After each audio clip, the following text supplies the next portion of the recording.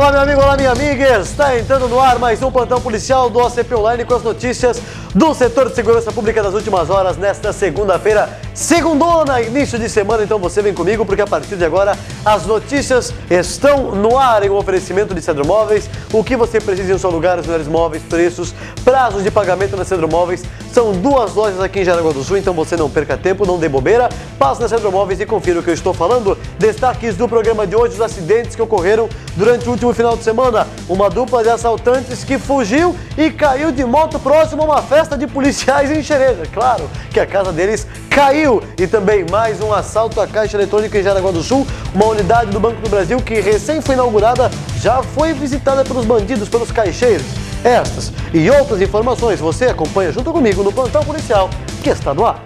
E alguns acidentes foram registrados durante esse final de semana, nós temos algumas fotos.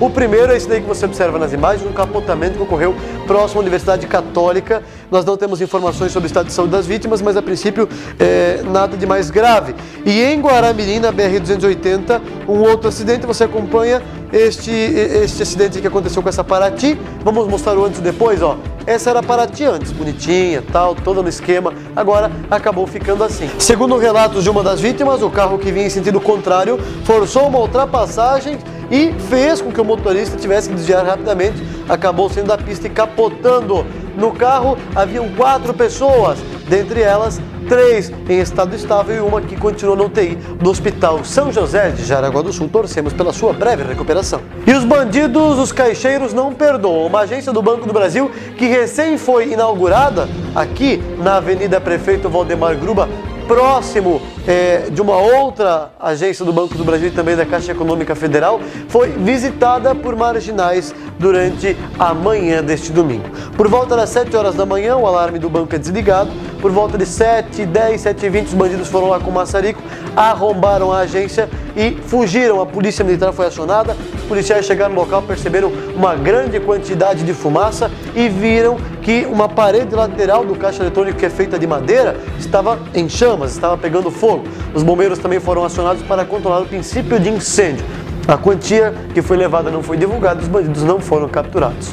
Agora te pergunto, né? Como que eles conseguem com tanta maestria e tão rápido? É óbvio, um da equipe está escutando o rádio da polícia. Durante esse final de semana, um outro arrombamento é, aconteceu em Joinville, mas lá a polícia conseguiu pegar os marginais que confessaram: olha, nós temos alguém ouvindo o rádio da polícia. Então, quando a polícia fala: ó, estamos indo para o local, os bandidos, ó, dão no pé. Aí realmente fica complicado, mas logo logo eles caem nas garras da patrulha. E algumas ocorrências envolvendo entorpecentes foram registradas durante o final de semana. Em Xereder, a polícia realizou a abordagem do cidadão que era suspeito de estar portando entorpecentes em uma rua próxima à Igreja Católica do município, Igreja Católica Central. Os policiais encontraram uma quantia em entorpecente com o cidadão e acabaram lavrando é, um boletim de ocorrência. Já em Jaraguá do Sul, a Polícia Militar abordou um jovem de 17 anos durante a manhã de sábado. A suspeita é de que ele estava também com entorpecentes. Os policiais encontraram cerca de 90 gramas junto com ele e ele acabou dedurando outros dois homens que também foram detidos em uma residência da rua Henrique Krause, onde mais 100 gramas da droga foram encontrados. Todos foram encaminhados para a delegacia de polícia para esclarecimentos. Já era por volta de 9 horas da noite de sábado quando um assalto ocorreu em Xereder. Dois marginais chegaram em uma farmácia e anunciaram o assalto. Um deles estava com uma, uma coisa prateada na mão que dava a entender que era uma arma. Os bandidos fugiram, mas acabaram colidindo contra um carro de um empresário de Schroeder.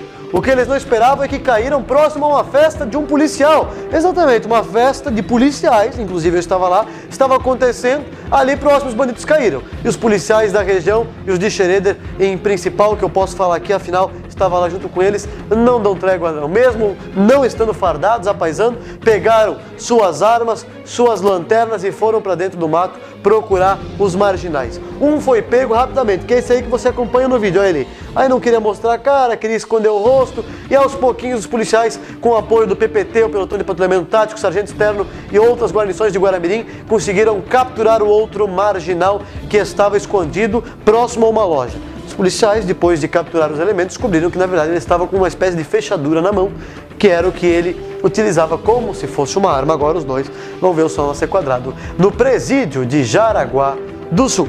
E um jovem de 23 anos de idade foi detido em Guaramirim bem no feriado ou bem no dia das mães. O que acontece? A polícia foi acionada porque ele estava agredindo sua mãe de 53 anos de idade e o pai de 51. Estava nervoso por algum motivo. A polícia militar teve que conter os ânimos do cidadão e encaminhá-lo para a delegacia de polícia. Uma situação dessa logo no Dia das Mães poderia ter sido evitada sem dúvida alguma, né? Totalmente deselegante da parte do cidadão. Muito bem, esse é o plantão policial de hoje. Vamos aos abraços.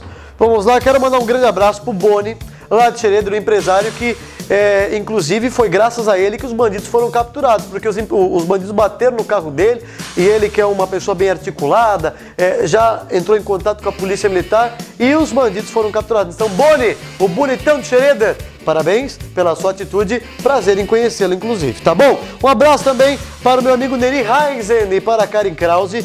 Um abraço meu amigo Idemar, lá dos Bombeiros de Guaramirim. Inclusive, Idemar tem uma história muito bonita. O filho dele é, acabou perdendo uma carteira dentro de um ônibus da Canarinha. Ele estava desesperado porque perdeu a carteira com dinheiro. E um cobrador da Canarinha de Guaramirim foi lá e devolveu a carteira com todo o dinheiro, com todos os documentos. É, ainda existem pessoas boas nesse mundo. Parabéns a esse cobrador que fez uma atitude belíssima em devolver realmente tudo porque o guri já estava desesperado e que bom que tudo deu certo. E eu quero mandar um abraço também para você que curte a página do Correio do Povo e que agora está preparado para uma promoção especial. Música deles, a música do sorvete, por gentileza. Tem a música do sorvete? Tem ou não tem? A música do Sunday? Do Sambô? Sunday, vai, Sunday. Bota, bota, bota, vai, vai, bota, bota. Aí. Por que, que eu coloquei essa música? Porque o Sambô estará em Jaraguá do Sul no próximo sábado e nós temos uma promoção especial. Você tem que acessar a nossa página do OCP Online no Facebook e tem um linkzinho lá para você curtir a página e participar da promoção. Então não perca mais tempo, na sexta-feira será o sorteio. Entre na página do Correio do Povo para participar do show do Sambô. Música de trabalho do Sambô para encerrar o programa, essa é mesmo, então vamos lá. No ritmo do Sambô, para os que gostam, para os que não gostam também faz parte. Está encerrando mais um plantão policial. Ah, tô com pena? Não fica não, amanhã tem mais. Te espero aqui na tela do plantão. Um abraço, um cheiro, um amasso. Tchau, pessoal!